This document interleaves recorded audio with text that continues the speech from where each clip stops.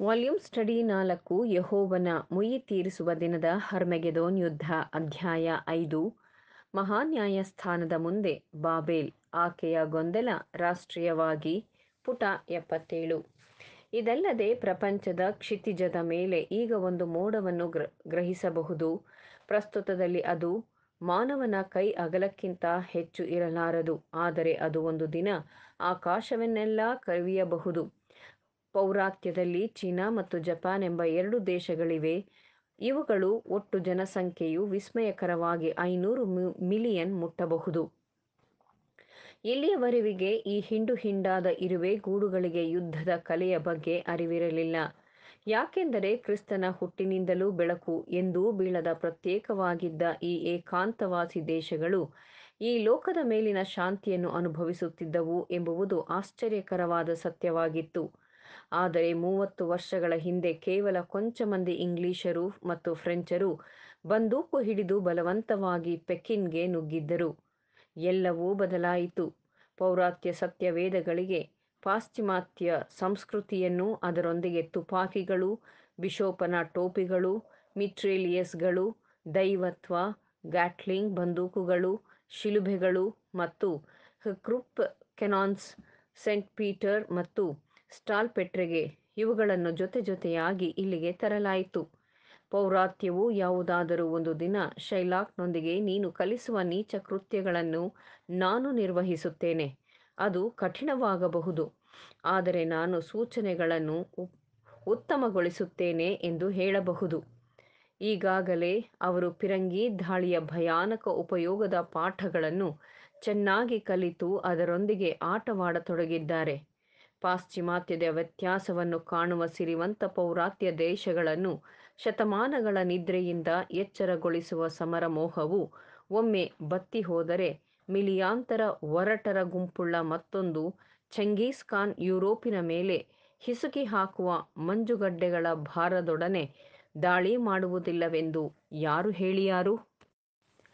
ಹೇಗಾದರೂ ಈ ಸಿದ್ಧತೆಗಳೆಂದರೆ ಏನೂ ಅಲ್ಲ. ಅವುಗಳು ಯುದ್ಧವನ್ನು ಪ್ರಚೋದಿಸದಿರುವ ಶಾಂತಿಯ ಖಾತರಿಗಳಾಗಿವೆ.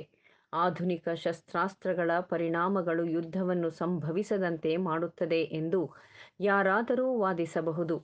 ಈ ಸಲಹೆಯಲ್ಲಿ ಸ್ಪಷ್ಟವಾದ ಬಲ ಇರುವುದಾದರೂ ಪ್ರಾಯೋಗಿಕವಾಗಿ ಇದು ವಾಸ್ತವಾಂಶಗಳಿಗೆ ವಿರೋಧಾತ್ಮಕವಾಗಿದೆ.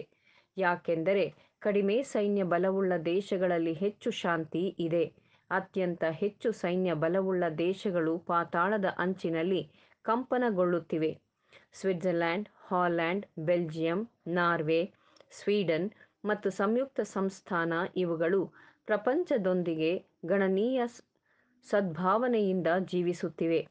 ಅದೇ ಸಮಯದಲ್ಲಿ ಫ್ರಾನ್ಸ್, ರಷ್ಯಾ, ಜರ್ಮನಿ, ಆಸ್ಟ್ರಿಯಾ ಮತ್ತು ಇಟಲಿ ದೇಶಗಳು ಹಲ್ಲುಗಳಿಗೆ ಶಸ್ತ್ರಸಜ್ಜಿತವಾಗಿ ಮತ್ತು ಸಾಧನಗಳ ಅಡಿಯಲ್ಲಿ ಅವು ತತ್ತರಿಸುತ್ತಿವೆ ಮತ್ತು ತಮ್ಮ ಗಡಿಗಳಲ್ಲಿ ಸದಾ ಪರಸ್ಪರ ಬಿಗುವಿನಿಂದ ಸಿಂಡರಿಸಿಕೊಂಡಿರುತ್ತವೆ.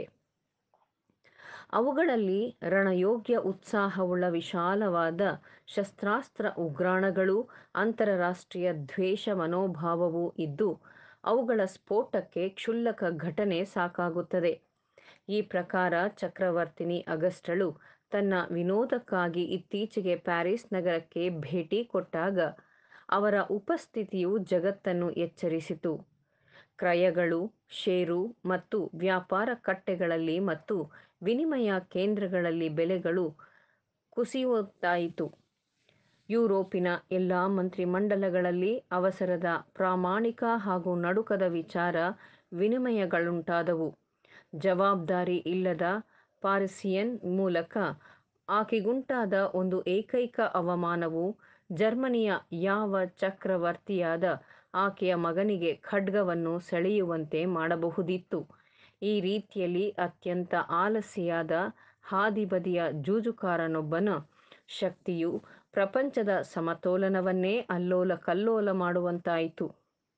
ನಮ್ಮ ಸಹಜೀವಿಗಳಾದ ಮಿಲಿಯಾಂತರ ಜನರ ಅಭ್ಯುದಯ ಮತ್ತು ಜೀವಿಗಳೂ ಸಹ ಏಕೈಕ ವ್ಯಕ್ತಿಯೊಬ್ಬನ ಸೌಮ್ಯ ಚಿತ್ತವೃತ್ತಿಯ ಮೇಲೆ ಅವಲಂಬಿಸಿದೆ ಎನ್ನುವುದು ಎಂತಹ ಭಯಂಕರ ವ್ಯಾಖ್ಯಾನವಾಗಿದೆಯಲ್ಲವೇ?